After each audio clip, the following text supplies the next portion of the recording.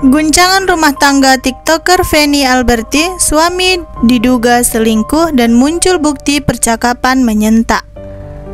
TikToker terkenal Feni Alberti kini menjadi sorotan publik setelah mengungkapkan kisah pahit dalam rumah tangganya bersama suami Akas Elahi.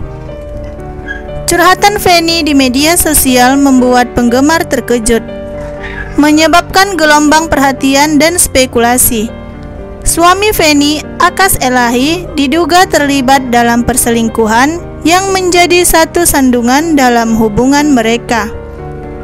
Kabar ini menggemparkan penggemar keduanya yang sebelumnya mengira hubungan mereka harmonis.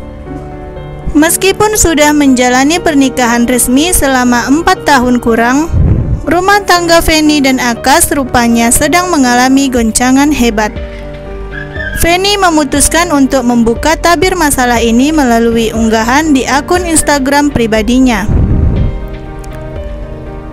Dalam postingannya, Feni membagikan foto materai yang diduga merupakan tanda tangan surat cerai, menandakan bahwa rumah tangganya dengan Akas sudah berakhir.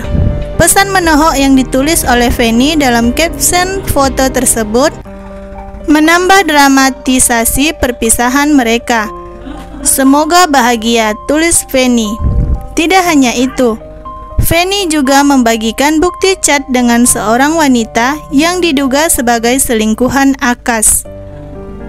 Dalam pesannya, Feni menegaskan bahwa dirinya sudah bercerai dan meminta wanita tersebut untuk menjauh. Sekarang aku udah cerai, Udah banggakan kamu, silakan Anda mau dekat nggak papa sekarang. Kalau kemarin itu lo jatuhnya selingkuh sama laki orang fit, ujar Feni. Feni tidak puas sampai di situ. Ia juga memamerkan bukti chat dengan Akas yang menunjukkan bahwa suaminya sudah berhubungan dengan wanita lain meskipun proses perceraian mereka belum resmi. Aku aja baru cerai sekarang, lu bilang seminggu yang lalu. Seminggu yang lalu lu kan sebelahan apartemennya. Ya seminggu itu adu nasib, mau aja lagi dicomblangin Ina, ungkap Feni. Kisru rumah tangga Feni dan Akas menjadi perbincangan hangat di kalangan publik. Dengan banyak orang memberikan tanggapan dan dukungan untuk Feni melalui berbagai platform media sosial.